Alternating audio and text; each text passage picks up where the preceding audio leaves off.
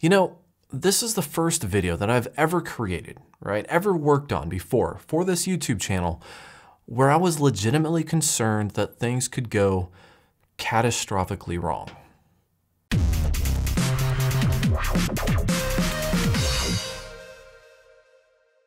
What's up YouTube? Jason here with Byte My Bits. And yes, this is another sponsored video by Norton, but I think you might like this one. So I did the first video, you can check out the cards above, where I just highlighted some of the different features that the Norton Core had to offer. The thing with that though is that Norton is touting a bunch of security features and they wanted people to know what it has to offer. And I've kind of sort of felt the need to test it. So here we are. Now, first I wanted to do some basic tests. I just wanted to double check, make sure some of the features were working, but I ended up making it a little bit more complicated than what I initially thought I would. And that's where things ran the possibility of going catastrophically wrong. Spoiler alert, I kind of sort of got a virus. Now, a couple of the main security features that the Norton Core is saying it offers is deep packet inspection and network intrusion detection. Basically, on one end, it, it protects you from you know incoming files. It, it, filters them out before it makes it to your computer. And on the other end, not only does it you know close a bunch of ports and kind of secure your network overall, uh, but it also detects outgoing communications that would you know be coming from things like Trojans or ransomwares, you know that sort of thing. So these are two security features that the, the Norton Core is using using as a selling point that I find interesting. Now, I could have gone the easy route, and, and there's a website out there. I think it's eicar.org. It, it's like a demo, you know, virus test downloading thing. It, it's a very simple way to test something like this. But I really, I, I didn't like that. And if you guys have watched my YouTube channel before, you know that sometimes I overcomplicate things just because I can. Sometimes because I don't understand it and I want to try to understand it and or want people to laugh at me when I don't understand it. But either way. So that brings me to the catastrophic failure topic of the day, and that is downloading a vault full of viruses. Anything from ransomware, trojans, malware, I mean, just a whole slew of different types of viruses, of course, encrypted and all, you know, compressed in their own little files, but nonetheless, just a large folder full of potential disappointment for me. And literally, literally going through these viruses, extracting them, you know, messing around with it. I was literally like palm sweaty when I was doing this. And yes, I understand that there are certain ways that you could, you know, manipulate or mess with these different viruses that, you know, you could use to protect yourself, things like virtual machines or just, you know, throwaway PCs, etc. But no one's ever called me super smart and I decided to download all of these viruses on my main computer uh, with the full intention of not, you know, running them and go through and extract and play around with them and, you know basically just see what they're all about. Anyways, the point was is that I wanted to basically test these viruses being downloaded to a dummy computer uh, or actually my test Plex Media server computer and I wanted to see if the Norton Core would block it, and if so, what that looked like on the user's end, both on the PC trying to download it and on the Norton Core app itself. So I ended up going through a bunch of different viruses and, and try to find ones that I was, you know, somewhat familiar with, maybe I've heard of before or whatever, and I actually uploaded those to my own website, bytemybits.com. And no, you cannot go there now and view them. They're literally up there for like, you know, five minutes just for me to test it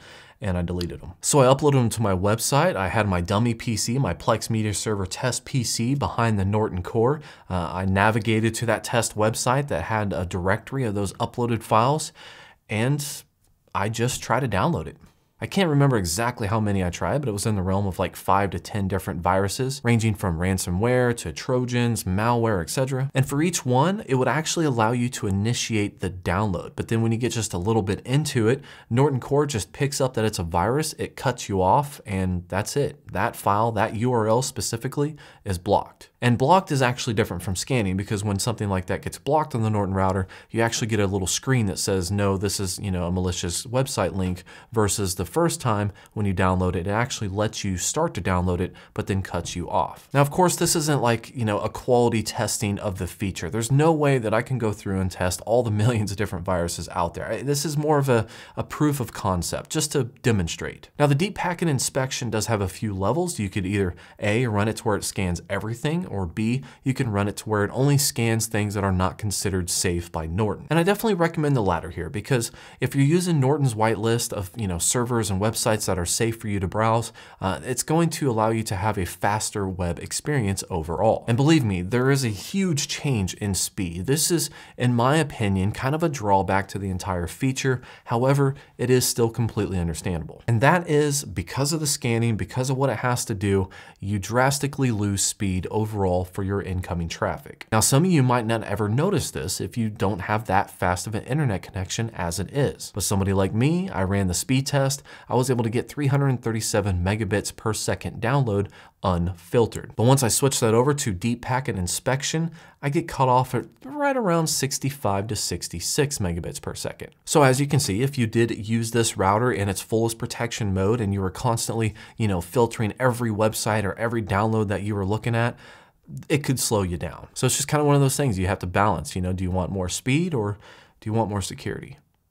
But anyways, moving on to me getting infected by a Trojan virus, we have network intrusion detection. So yes, the Norton Core can scan incoming traffic and you know identify and block certain malicious content from ever reaching a PC, and that's all and well. But what I was curious about is what exactly does it look like from you know the user standpoint if you were to get infected by something that would try to communicate with the outside world. So I've fired up a dummy PC. It's a little PC stick I have and it has a fresh copy of Windows 10 on it, no personal information on it whatsoever, and I decided to infect it with a Trojan. Now the Trojan is called I might pronounce this wrong, Stab Unique. Now I picked this Trojan for a reason. You know, once it runs on a PC, it does some, you know, data collection and then it bundles all that up and sends it up to a mothership. And I would assume, of course, from there, you know, once it's communicated, once that Trojan, that backdoor is open, you know, who knows what they could do to your computer afterwards. But the point here is that it is trying to make an outside connection and it's not just,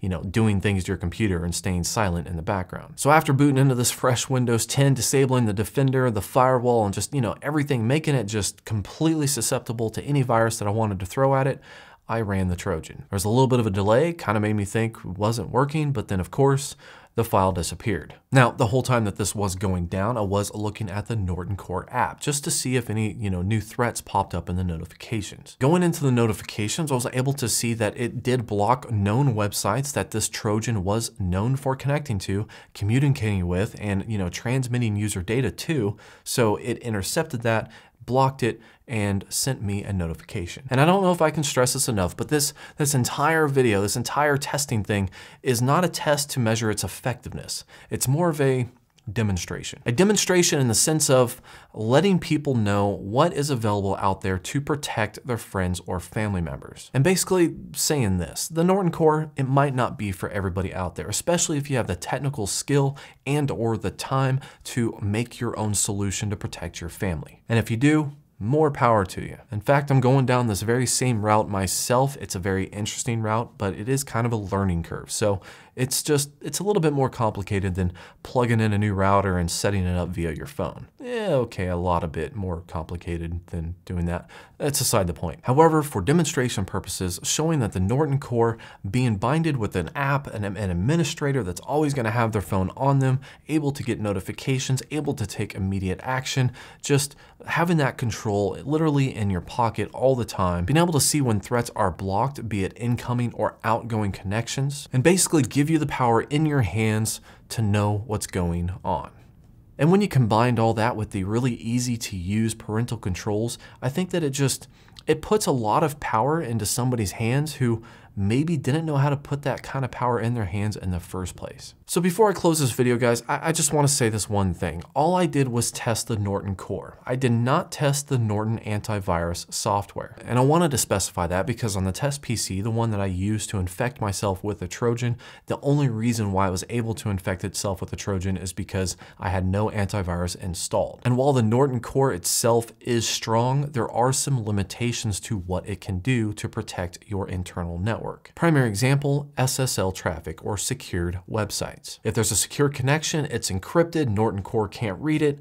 I mean, you're just gonna run into issues where it's not gonna be able to view the data, thus not being able to block it. But that's where the Norton Core router and the Norton Core antivirus software work well together. Norton Core kind of being your first line of defense, but just in case you're on a secure website and it doesn't have that ability to scan it, Norton Antivirus can jump in and save the day. So guys, I look forward to reading some of the comments or questions that you might have for me in the comments section below. Of course, if you do want more information on the Norton Core router, links are in the description. But as always, like and subscribe below, and have a good day.